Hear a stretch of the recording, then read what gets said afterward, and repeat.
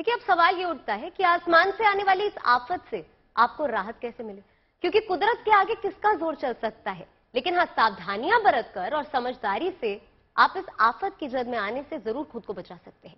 लेकिन साथ ही मौसम के मिजाज को देखते हुए समय रहते अपनी तैयारियाँ करके ऐसी किसी मुसीबत में फंसने से भी आप बच सकते हैं खास करके वो लोग जो अभी इन दिनों पहाड़ी राज्यों पर सैर कर रहे हैं।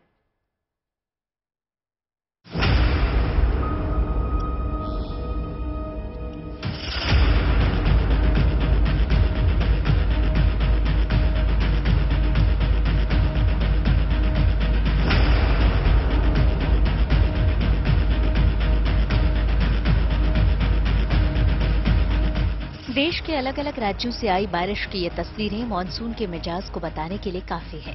कहीं मानसून के बादल बरस रहे हैं तो कहीं गरज रहे हैं।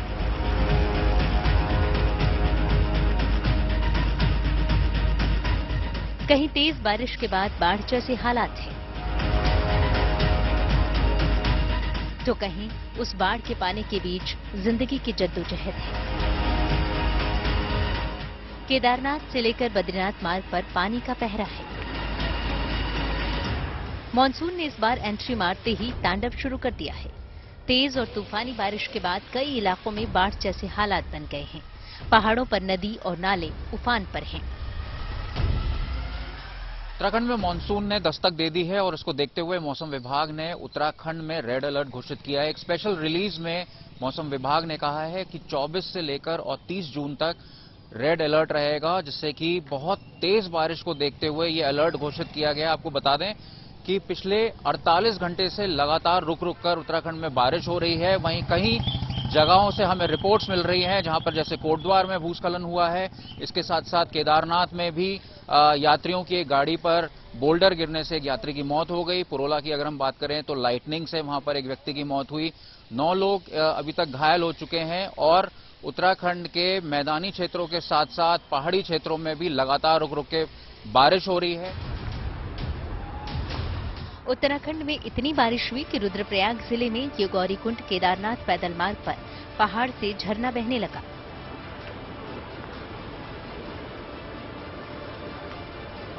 पानी की धार देखिए कितनी तेज है। अगर कोई शख्स इसकी चपेट में आ जाए तो उसका क्या होगा? लेकिन अभी तो ये मानसून की शुरुआत है। जैसे जैसे मानसून की चाल तेज होगी, उत्तराखंड जैसे पहाड़ी इलाकों में खतरा और बढ़ेगा। ऐसे ही खतरों से निपटने के लिए उत्तराखंड सरकार ने अर्ली वार्निंग अलार्म सिस्टम लगाने की तैयारी तेज कर दी है। हमारा इरिगेशन डिपार्टमेंट और सीडब्ल्यूसी जिनका कि फ्लड फोरकास्टिंग का मैंडेट है समहाउ इनके 32 हैं सेंसर बेस्ड जहाँ पर कि टेलीमेट्री से एडब्ल्यू यानी कि जो blood level sorry water level check करते हैं सेंसर बेस्ड है। बाकी जगह मैनुअल है। तो इसको पूरा हमने कहा कि इसको सेंसर बेस्ड करना चाहिए।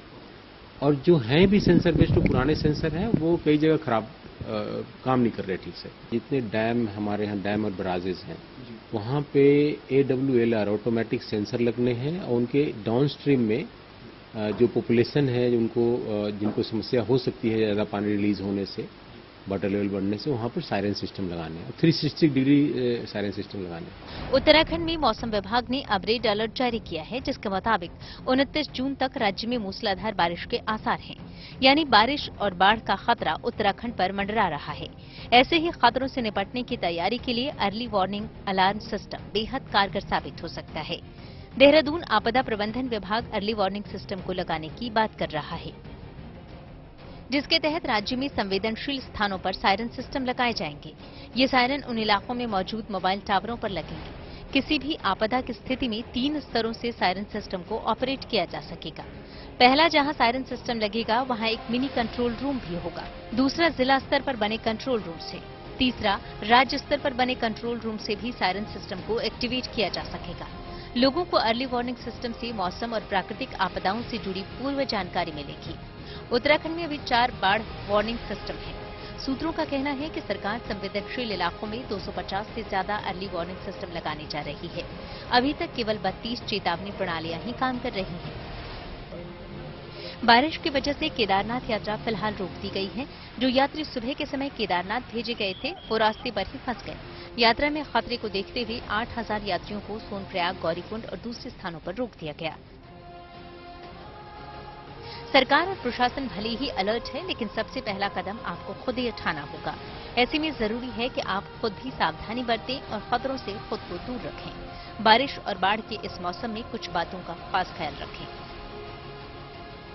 अगर रास्ते से गुजर रहे हैं तो तेज बहाव से बहते पानी से दूर ही रहें। अगर आप बाइक या कार में हैं, तब भी आगे बढ़ने से पहले पानी का बहाव एक बार ज़रूर देख लें। बाइक या कार की रफ्तार का खास ध्यान रखें। ऐसे मौसम में पहाड़ी इलाकों का रुख न करें। बारिश के दौरान बिजली के तारों और खंभों से दूरी बनाकर रखें। ये वो चंद अहम बातें हैं जिनका ध्यान रखने से हादसों को टाला जा सकता है। ज़ाहिर है, थोड़ी सी जल्दबाजी आपका बड़ा नुकसान कर सकती है। उत्तराखंड में मानसून की पहली बारिश राहत के साथ आफत भी लाई है। ऐसे में सावधान रहना बेहद ज़रूरी है। Bureau report, good news today.